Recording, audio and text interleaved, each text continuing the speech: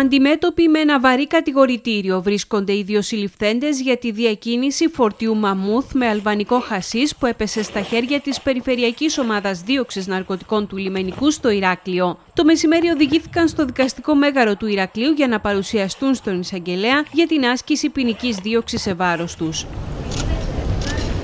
Ο 36χρονος είναι εκείνος που ταξίδεψε για τον Πειραιά και επέστρεψε ακτοπλοϊκό στο Ηράκλειο το πρωί της Τρίτης, έχοντας όμως φορτώσει στο μεταξύ στο αυτοκίνητο τρεις σάκους με αλβανικό χασίς.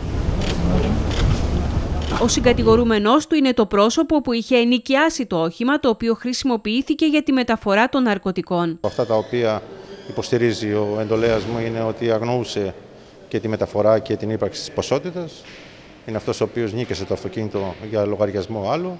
Από ό,τι γνωρίζω το ίδιο ισχυρίζεται και ο συγκατηγορούμενος του. Όλα αυτά όμως μέλη να αποδειχθούν και να δούμε από τα στοιχεία της δικογραφίας, γιατί δεν πρέπει να λέω και εγώ πράγματα τα οποία θα προκαταλαμβάνουν ε, την ε, δικογραφία. Επομένως θα γνωρίζουμε περισσότερα μετά που θα προσαχθούν στον κύριο ανακριτή και θα λάβουμε αντίγραφα. Την ώρα που τα κλιμάκια του λιμενικού τον αναζητούσαν με εφόδους στο Ηράκλειο και χωριό της ενδοχώρας από που κατάγεται, ο ίδιος εμφανίστηκε στο αστυνομικό μέγαρο του Ηρακλείου και παραδόθηκε. Ο ίδιος ισχυρίζεται ότι δεν έχει καμία εμπλοκή στη διακίνηση των ναρκωτικών, ενώ ενοικίασε το ΙΟΤΑΧΗ χωρίς να γνωρίζει ότι θα χρησιμοποιηθεί για το συγκεκριμένο σκοπό, όπως μεταφέρει και ο συνηγορός του. Η βαρύτητα της υπόθεσης είναι δεδομένη λόγω της ποσότητας.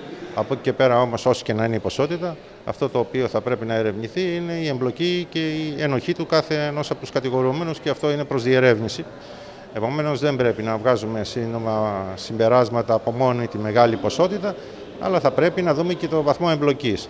Εάν λοιπόν τα στοιχεία είναι τέτοια τα οποία οδηγούν το ότι δεν έχει συμμετοχή στην πράξη γνώση ε, για την πράξη, τη μεταφορά της ποσότητας, νομίζω ότι και οι δικαστικές αρχές αυτό θα λάβουν υπόψη τους και όχι το, την ε, βαρύτητα της υπόθεσης με την έννοια της, ε, του βάρους της ποσότητας η οποία ανεβρέθηκε.